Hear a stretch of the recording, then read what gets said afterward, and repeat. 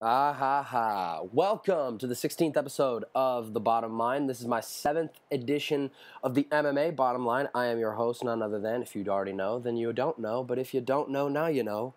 Davidson Baker, welcome to the 16th episode. And I'm not going to waste any time because I do have a lot to get to in a little short period of time. I got about an hour and 20 minutes until my favorite thing in the world, the Contender Series, kicks off tonight, week four. Great card of five fights. So let's begin. Uh, recapping this past week in the International Fight Week spectrum, it was a serious, serious display, uh, especially the UFC 226 main card delivered. Um, let's dive right into it. So, Daniel Cormier takes out the longest reigning heavyweight champion, Stipe Miocic by way of knockout, four minutes and 33 seconds into the opening frame to dethrone the longest tenured UFC heavyweight champion, and now becomes the fifth man to hold belts in two different divisions, and the second man to do that at the same exact time. The first, of course, being Conor McGregor. The difference between DC's uh, possible legacy and what Conor McGregor's was as the champ champ, so to speak, is that DC plans on defending both one more time each. Um, I don't know how you cannot throw Daniel Cormier's name into the conversation of the greatest of all time at this point. In my opinion, you have two different conversations you could have. You have the conversation with people that do not want to include those who have any type of history with PED accusations or PED positive tests. If so, there are only three people that could be brought up. That's Daniel Cormier, George St. Pierre, and Demetrious Johnson. And I'm not including Conor McGregor in any of these talks because A, he never defended either of his belts. And B, you know, I feel like we still have a lot left to see with Conor McGregor.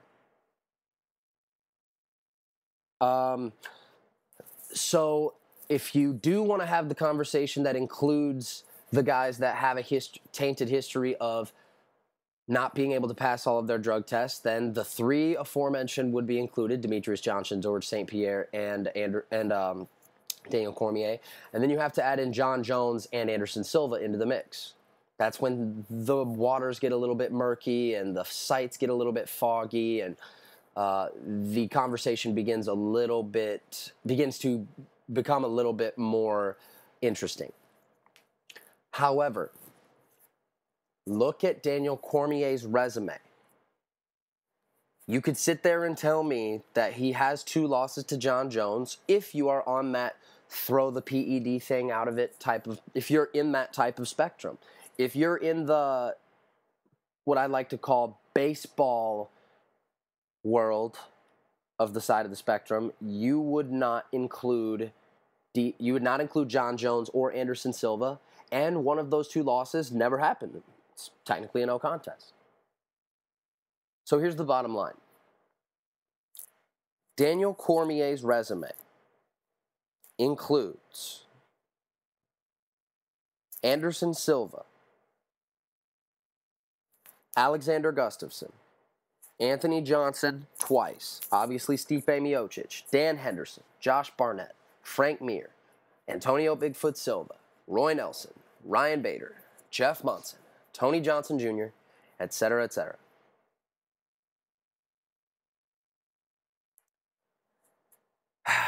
And now becomes the only man other than Conor McGregor to hold two belts simultaneously and given the indications that he's given to media, including his interview yesterday with Ariel Helwani, he wants that last light heavyweight title defense before he gives it up. Gotta respect him, man.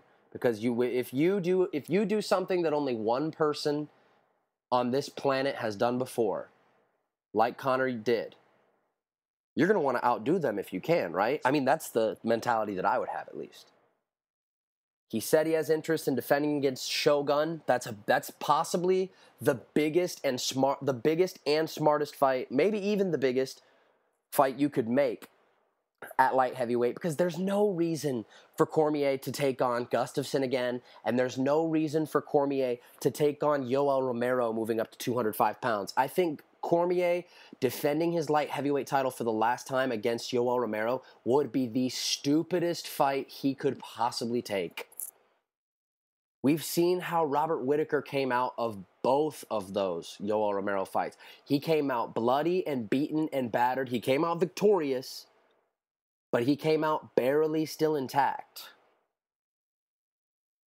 Torn ACLs and broken bones and facial disfigurations alike. You know, like I said, I have a lot to get to today.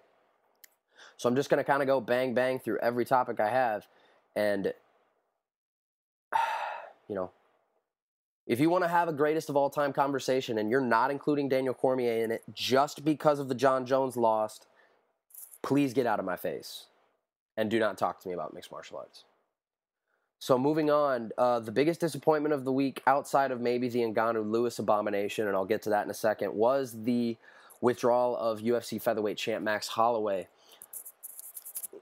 on UFC tonight when he did his interview on Wednesday, he he looked terrible. He sounded terrible. He did not fit the part of someone who was ready to go in and engage in a possible 25 minute um, gl- gla- glorified gladiator spectacle. So what I read was on the day of the open workouts, which he also did not look himself in. Came back to his hotel room, took a nap. They tried to wake him up from his nap. They had trouble doing it. It was an issue. They took it took way too long for him to come to his senses. He had flashing vision. He had slurred speech. I mean, yeah, you you rush him to the ER. They you you rush him to the ER, and then the hospital room. A doctor's like, uh, this guy has a what coming up on Saturday? Uh, n- no, he doesn't. Nuh-uh. No, no, he does not. Not anymore you know. So that being said, Brian Ortega obviously did not take a fight, which was the smart thing to do. They tried to make him versus Stevens, then they tried to make Stevens versus Edgar. Just couldn't make either of it in such short notice. And I'm glad there was no interim title on the line for that. Holding Max and Ortega possibly for the future is the right decision. However, we don't know how long Max is going to be out. And from certain indications from very reliable sources, Max Holloway could be out for a while. So, where does that leave the UFC featherweight division, which is very quickly becoming one of the most stacked and upcoming talent rich prospect divisions in the entire world? In UFC and Bellator, both. Bellator's 145 pound class is stacked. 145 seems like it's becoming home for a lot of people. So let's just say that Max is out for a long, extended period of time, but does plan on coming back to defend his belt. All right. What options do you have if you're the UFC? Obviously, your number one option is Ortega. Undefeated, finished everybody he's fought inside the octagon, had this shot against Holloway locked up. He's obviously going to be half of that plan. Now, Jeremy Stephens with the win over Jose Aldo at the end of the month in Calgary surely becomes the other half of it. Or at least the next guy in line if Holloway comes back relatively soon. But what if Aldo beats Stephens? And I think there's a great chance Jose Aldo will do that. Just my opinion. It's a messed up situation you got at the top there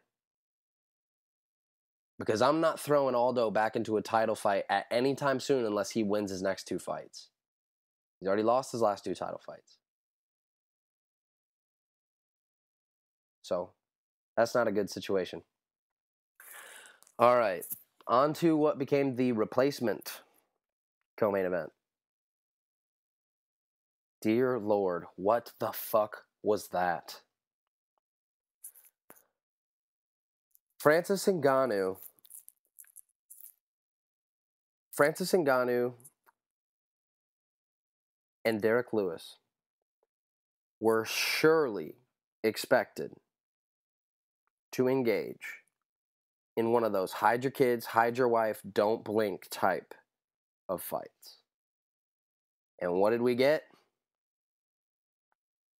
We got the second lowest statistical output in a UFC fight in the history of the promotion.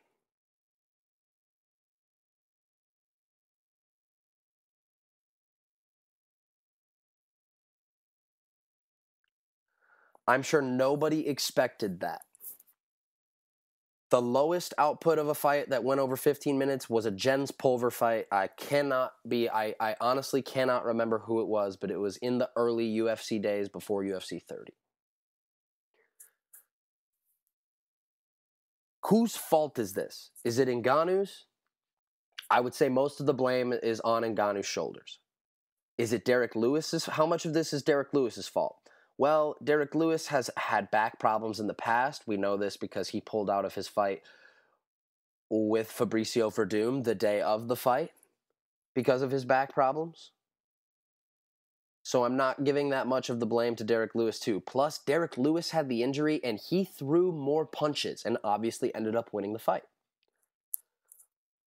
That being said, how much is the UFC to blame with it? Well, I didn't think the UFC had any part to blame with it until Dana White said at the post fight press conference something about Francis Ngannou's supposed ego that has reportedly become out of control. Um, that's kind of your fault a little bit. You were the one that did say in the UFC 220 pre fight press conference you had to sneak into the introduction when talking about his fight with Stipe that he hit harder than a Mack truck. Stipe was irritated at you guys for promoting Ngannou way more than you did him, and I get it. The possible future UFC first African champion had something to the ring to make him a rock star. But still, you have to promote your champion. You just have to. I mean, it doesn't make sense not to. Granted, Dana White is the best fight promoter on the planet, if you ask me. I've spent time and time again belittling guys like Bob Arum and Oscar De La Hoya who think otherwise. You're idiots if you think, if you, I mean, yeah, pretty much. More so De La Hoya than, than Arum. But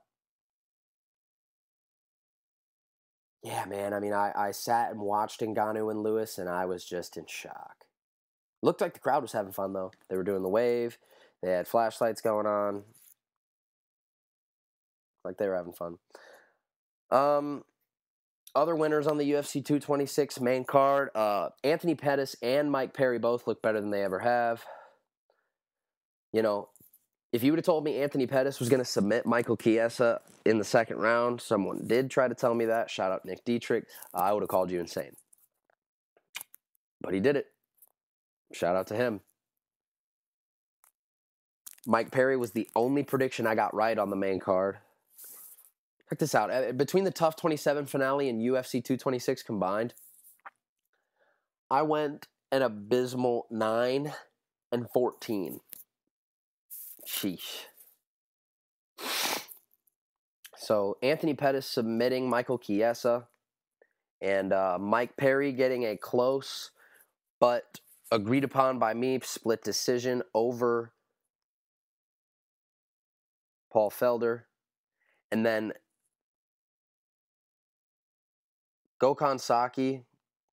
You know, after kind of getting lucky in his first fight against Henrique, in Japan with that huge right hook that dropped him at the end of the first round. He found out what MMA striking was all about. Khalil Rountree, winner by KO, punches 136 into round one. You know, my one thing I will say about that is people who think that these kickboxers, and I'm going to get to Adesanya in a minute because he's obviously the exception. Disclaimer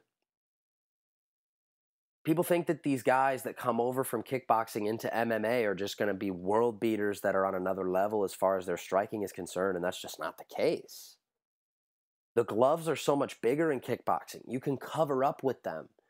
The movement is so different. The technicalities are completely different. The threat of the takedown obviously scares the shit out of some people. And as my friend Kobe from Kobe's Corner said on our roundtable podcast we had with John McElroy the other day, if you do not know about that, check that out on Spreaker or on my Twitter. I have reposted that multiple times. It's a great podcast to be a part of. The fear of the takedown has scared the shit out of Saki and Ngannou. How about this though? Blue corner fighters went 5 and 0 on the main card.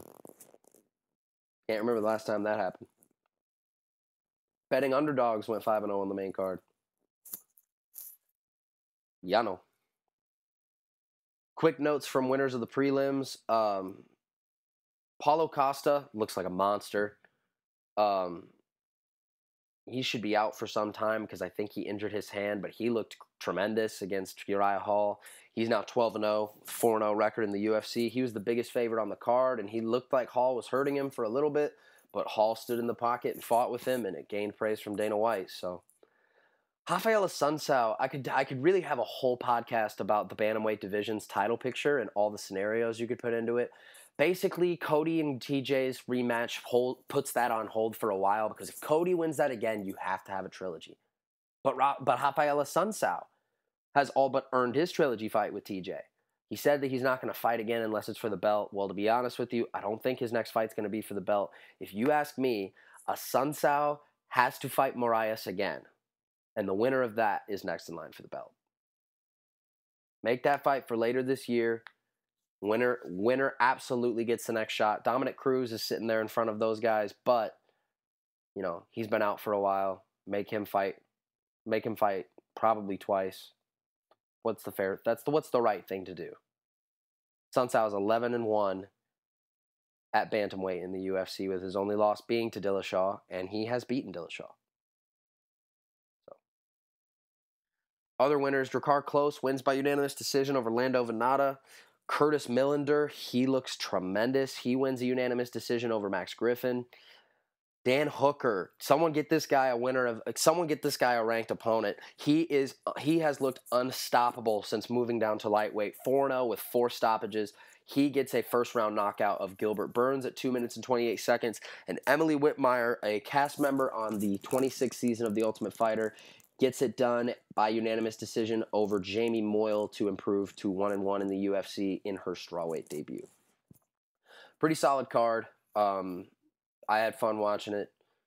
So uh, I'll quickly bang through the tough the TUF 27 finale. Israel Adesanya is for real. I think any questions we might have had about him have been answered. He stuffed 11 of Brad Tavares' 12 takedowns. He looked incredible within his movement. He confused Tavares. He made it tough for Tavares to touch him. And anybody like that, that is going to be almost impossible to touch, can win against almost anyone in that division. Now, then, you add into the fact that make it impossible for someone to touch him on the feet and damn near impossible for someone to take him down, oof, you have a really tough out in that middleweight division. So he's for real. He's going to be in that top seven, top eight when the middleweight rankings, new middleweight rankings come out tomorrow. Uh, the finale card mostly sucked, if I'm going to be honest with you. Um, especially the lightweight final between Mike Trizano and Joe Giannetti. I mean, that second round was embarrassing. And I thought I thought the whole time I, had no idea why Marc Goddard was not standing those guys up. I mean, Mike Trizano was bull punching Giannetti on his ass. And Giannetti's laying there on the ground like this. Granted, though, I don't think Joe, Gian- Joe Giannetti shows up for the biggest fight of his life in a fight that he was favored to win and probably should have won and was probably talented enough to win. And he looked like he would have rather been anywhere else on the planet. Doesn't make sense to me. I don't know if it's the octagon jitters, but I mean, you have to realize the guy you're fighting has the same jitters as you. You're both making your debut. I don't know. I hope he gets another fight in the UFC because I don't think that's the Joe Giannetti that we'll see going forward. But um, gonna be questionable. There's no way Dana White was pleased with with that.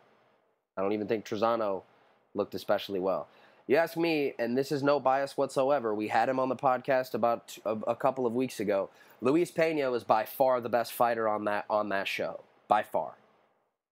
He looks the cleanest on the feet. He is obviously equally as dangerous with submissions, as shown of his $50,000 winning bonus submission of a submission artist in his own right, Richie Smullen, winner by first round mounted guillotine. I don't know how you could argue that he is by he was by far the best fighter on that show and would have won. Please, please, please, the UFC, please match him up against Trizano. Let him prove that he would have won that show. Um, speaking of winners of the show, Brad Katona gets it done in the featherweight final by defeating upstart second chance gainer Jay Cucciniello, I should say, 30 26, 30 26, 30 26. Um, Brad is going to drop to 135 and just add another shark into that infested water of that exactly at bantamweight of top prospects. Man, like I keep saying it over and over again 135 pounds is going to be a bitch to fight in in the future. They are stacked as far as up and coming talent is concerned. Stacked. And Katona is just another chip in that in in that dealer's hand. He looked great with the boxing with his boxing. He really you know, he dropped Cucciniello a couple times. Solid on top can finish on the ground like he did when he showed us he could against uh, Bryce Mitchell, who took out uh, DC's number one guy, uh, Tyler Diamond. Hope they give Tyler Diamond another one fight. He's clearly talented. He just has a couple of things to figure out. You know, Alex Caceres, Martin Bravo, fight of the night. That was great. Roxanne Modafferi defeats Barb Honchak by TKO in round two to get her first UFC win she's been searching for so long for. Montana De La Rosa becomes the second woman in the women's flyweight division to improve, actually third, my fault, to improve to 2 0 in the women's flyweight division after Jillian Robertson and Jessica Eye by submitting Rachel Ostovich 4 minutes and 21 seconds into round three. Um, John Gunther gets his gets his hand raised by majority decision over Costa Rica's Alan Zuniga. 29 28, 29 28, 28 28. As aforementioned, Bryce Mitchell with the win over Tyler Diamond. Steven Peterson gets his hand raised by split decision over Matt Bessette. I thought Bessette won that fight. It was a close fight, though. Could have gone either way. And then I saved this for last. Both Alessio Di Chirico and Gerald Meerschaert pick up huge wins as underdogs against top blue chip middleweight prospects in respectively Julian Marquez and Oscar Piechota. Di Chirico gets the win by split decision. Meerschaert gets the win by rear naked choke. Five seconds left on the clock in round two.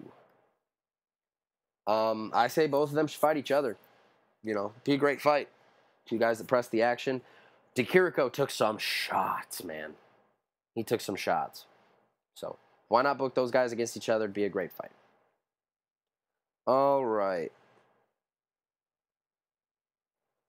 Moving on, current events quickly, and I will get into my picks for all of the fights in UFC, Bellator, and boxing coming up for this weekend. Um, one a couple things. There's really only two things I want to touch on. Number one, um, really, really, really starting to get more and more curious as every single day passes on who the hell is going to be booked for the UFC 228 main event. We are now less than two months out, and we have no clue. You know, we were at 223, and we already knew the 227 main event, and 226, and 225. We are not aware of 228 yet. You know, obviously, by the time that 227 rolls around, they're going to need one. You should probably get one sooner than that. There aren't a lot of options either. It's crazy. Really intrigued to see who it ends up becoming. So far, your UFC 228 card looks pretty nice, and I will read these off, these fights off as fights that are official and fights that are rumored. There are only two fights, official, done deal, announced, ready to go for UFC 228 in Dallas, Texas. Those fights are at featherweight, an absolute cracker between Zabit Magomedsharipov and Yair Rodriguez. At bantamweight, a top seven clash between Jimmy Rivera and John Dodson. Now, the three fights that are pretty much all but done Bantamweight, Aljamain Sterling and Cody Stamann in a grudge match I've been trying to see for a while. You have a women's strawweight title eliminator. Winner easily will be the one to take on Rose Namajunas, Jessica Andrade, and Karolina Kowalkiewicz. Also, I mean, it seemed to me that the women's flyweight title will be defended for the first time between Nicco Montaño and Valentina Shevchenko. You cannot make that your main event, though. Unless you want to do 80,000 pay per view buys, you cannot make that your main event. So, yeah, they got to figure that out ASAP. And uh, feeling is they probably are. Right now, maybe as we speak. Before I get into my picks, let me just say um, Bellator's picking up steam, man. With the signing of Machida and uh, the knocking on the door potentially of Josh Barnett. And, you know, you have all of these events coming up. Today, it, it today it was announced Bellator 207 on October 12th, the Mohegan Sun Arena in Uncasville, Connecticut, will feature the first of two Bellator heavyweight Grand Prix semifinals. It will be Ryan Bader, it will be Matt Mitrione. It should be fantastic. And it's presumed that the night after, on October 13th, will be the blockbuster event. It, what might be, depending on how you look at it, whether it's that or Gegard versus Rory, might be the biggest fight in Bellator history, Fedor Emelianenko and Chael Sonnen. And then you have Gegard versus Rory with Rampage versus Vanderlei 4 as your co-main for Bellator 206. 206, 207, 208, all within two weeks, and all should be huge events. That's going to be a massive 14 day span for that promotion. So, now um, let's move on to my picks. I'm going to go UFC Boise, Bellator 202 and 203 main cards. And then I'm going to just reel off quickly. There are five world title fights in boxing this weekend. Um, you know, let's do it. So here's how I do it. Uh, with the UFC, I'm going to go main card from first fight on the main card to the main event in that order in order of how the fights would go. Then from prelims on, I'll go I'll go rapid fire. Just picking the prelims from from the featured prelim on, on to the very first fight of the night in that order. So in the main card, all odds that I am going to be spitting out to you are courtesy of betonline.ag. Uh, and they're also, these odds obviously can change within the next few days. I would expect some of these odds to change as I'm looking at them. And these odds are applicable as far as Ju- Tuesday, July 10th at 7.07 p.m. So, starting in the women's bantamweight division, a huge fight for both ladies here between sixth ranked Cat Zingano and seventh ranked Marion Reneau. Marion Reneau, the very slight favorite right now in what's basically a pick 'em at minus 115, Cat Zingano at minus 105. Reneau coming off a submission victory over Sara McMann back in Orlando in February, and Cat Zingano coming off her third consecutive loss to now number two ranked women's bantamweight and surefire future women's bantamweight title challenger Ketlen Vieira by split decision, even though it should have been a unanimous decision. It was a split decision. Um, Marion Reneau has looked incredible in her last couple of fights. Her grappling looks steady. Her top game looks incredible. She submitted a former Olympic silver medalist in Sara McMann.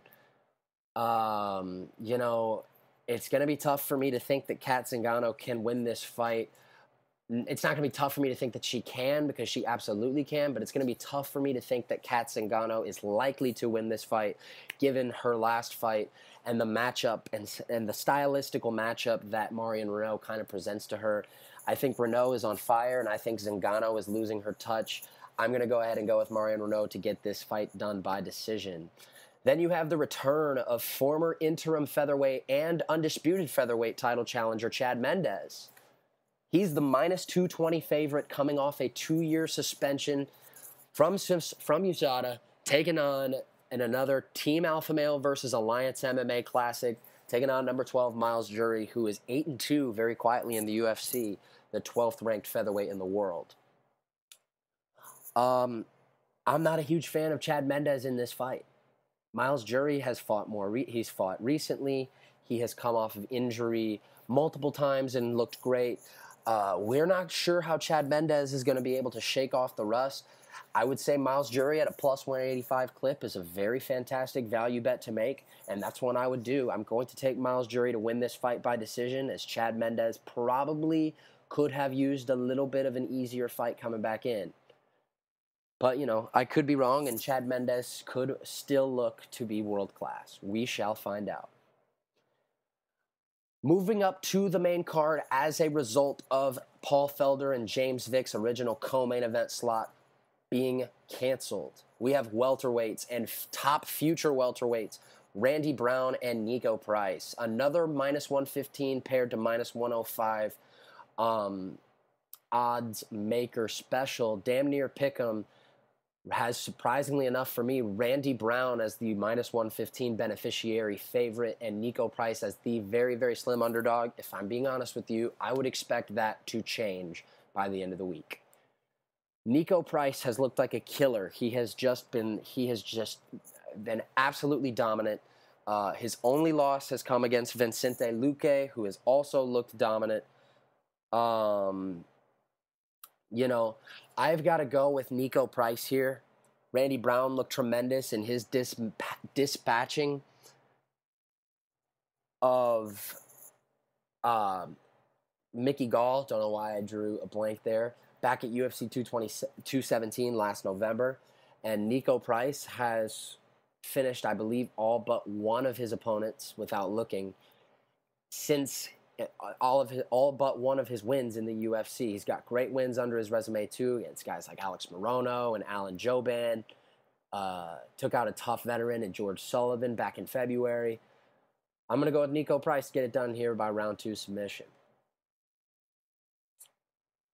So now moving on, we have Dennis Bermudez taking on Rick Glenn. The featherweight's really coming out here. Dennis Bermudez, as of right now, is a minus 250 favorite and Rick Glenn, the minus 210 underdog on the comeback.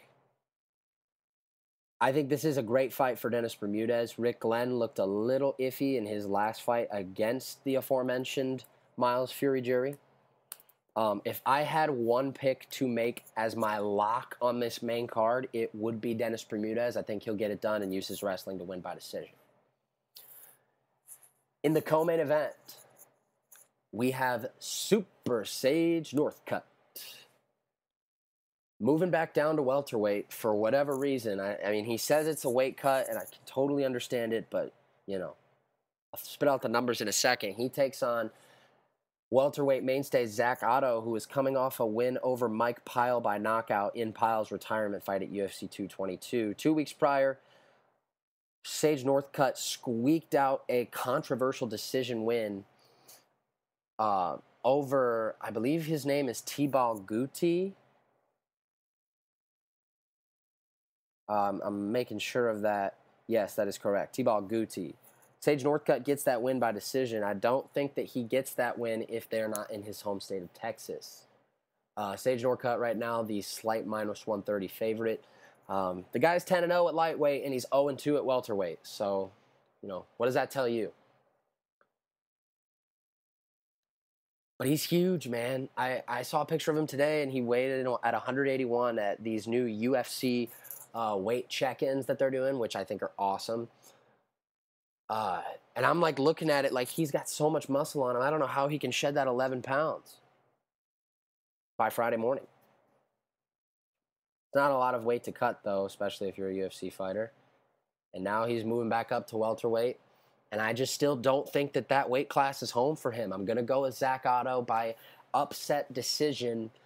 Uh, that would be, as it stands right now, and this could possibly change, four out of five of my upsets.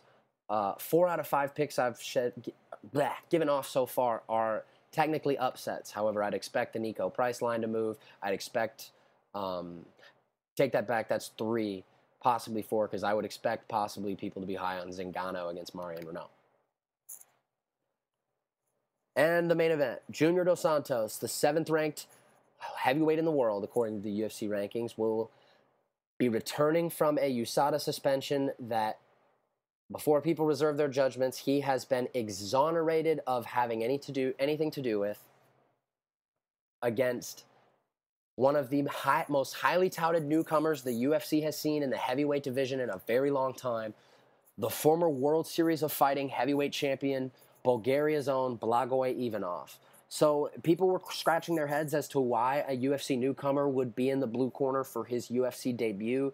And if you are asking yourself that question, I would just advise you to go watch some of his fights in the World Series of Fighting. A very respectable organization. Blagoy, Blagoy Ivanov has also competed in Bellator and also was a fight away from fighting for the Bellator Heavyweight Championship when he was submitted by none other than the current number three ranked heavyweight in the UFC's rankings, Alexander Volkov. Other than that, he is undefeated. He defended his World Series of Fighting heavyweight title three times. He can knock you out and he can submit you on the ground. I think this is a fight that is flying under the radar here. But I do think the bright lights of the octagon will get to Ivanov I think JDS, if Volkov is the toughest test he's faced to date, I think JDS is very close right behind him, and I think it might be too much for him. Blagoy Ivanov gets KO'd for the first time in his career in round two, and Junior Dos Santos announces his return to the UFC heavyweight contendership ladder. So just gonna go bang bang for the rest of the prelims. Uh, a couple of ranked bantamweights in the in the featured prelim. Uh, I like Alan, Alejandro Perez to take out former WEC bantamweight champion Eddie Wineland by first round TKO. Um, really tough fight for 10th ranked featherweight Darren Elkins. I'm not counting him out. Like I won't count him out ever again.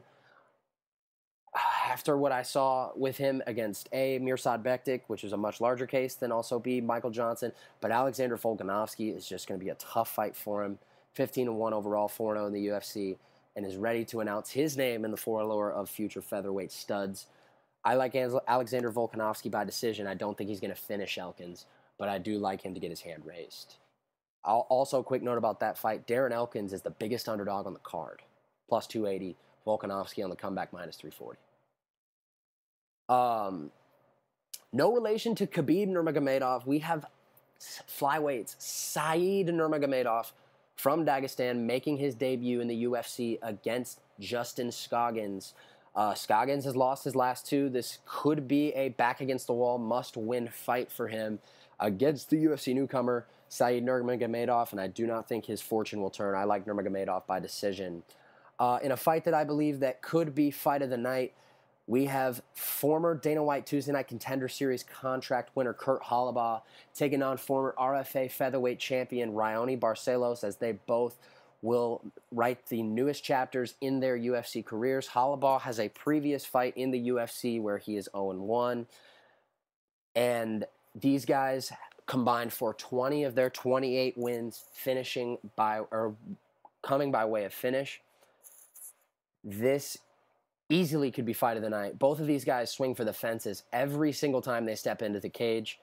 Um, Barcelos, one of those Brazilians that comes from a jiu-jitsu background that is so well versed on his feet.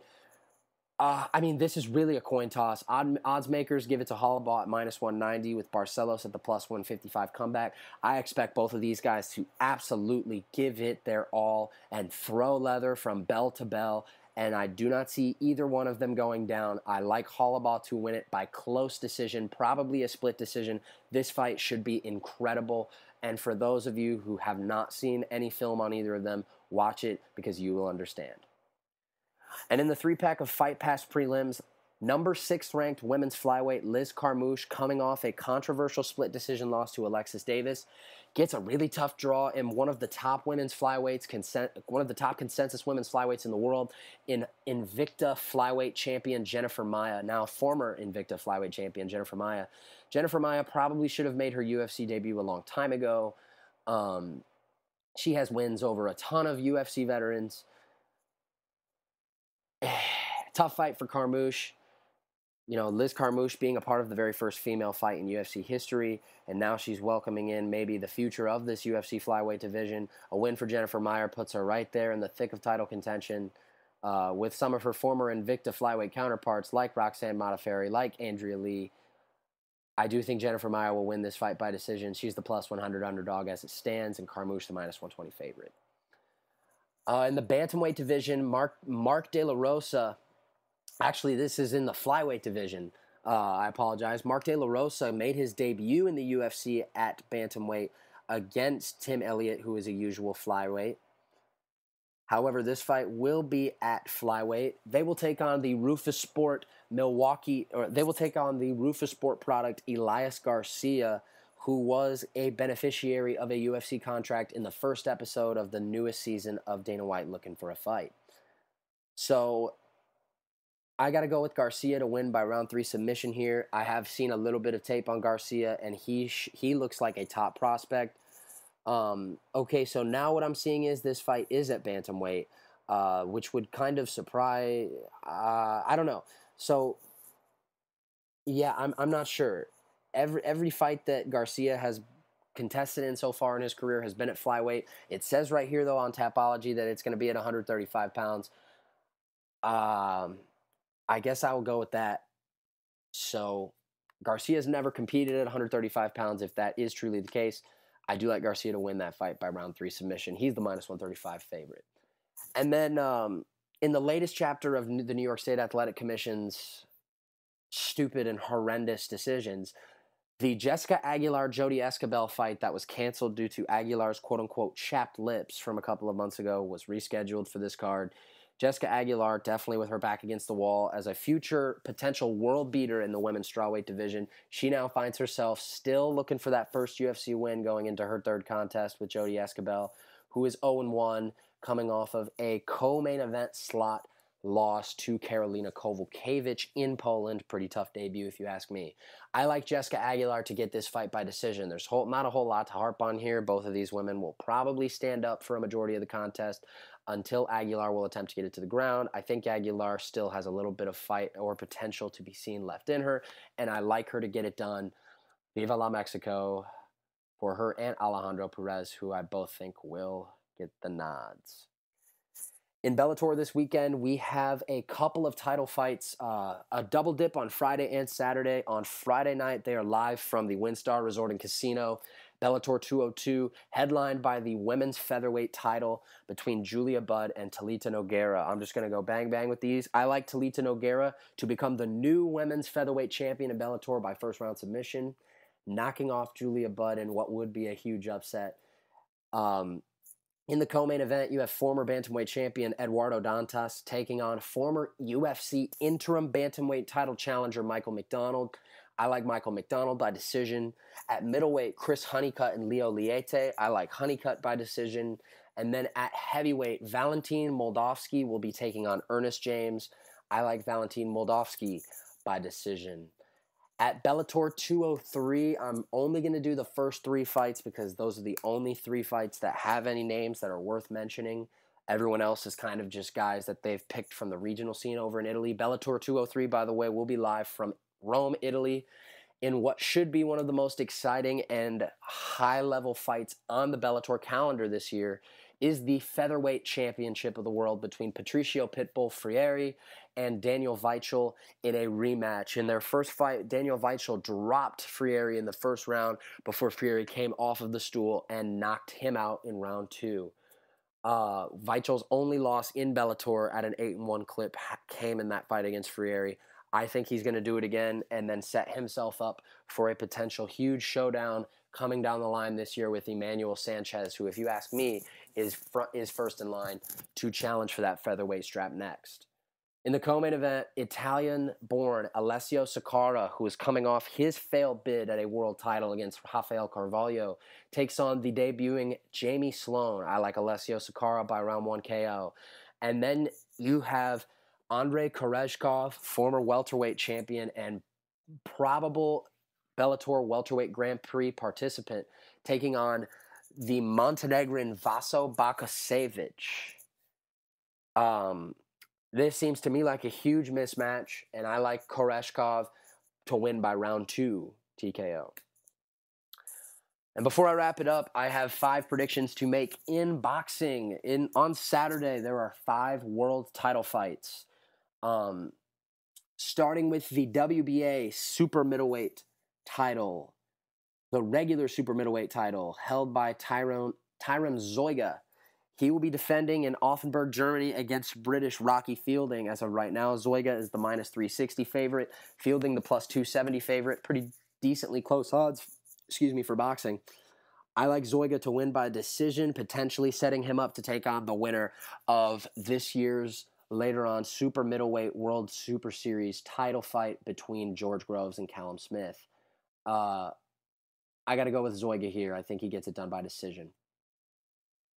And then on ESPN Top Rank at 7 p.m., the card kicks off with, strangely enough, in my opinion, the number one, and according to many people, either him or Josh Taylor is the number one junior welterweight in the world now that Terrence Crawford has moved up and claimed a belt at actual welterweight. So the 140 pound WBA interim title will be on the line as Regis, Proger- Regis Prograis will take on Juan Jose Velasco. Again, hu- I mean, this is a huge mismatch. Velasco might be undefeated, 19 0 with 11 KOs, but Prograis is just on another level. He's coming off absolutely dismantling former world title challenger Julius Indongo.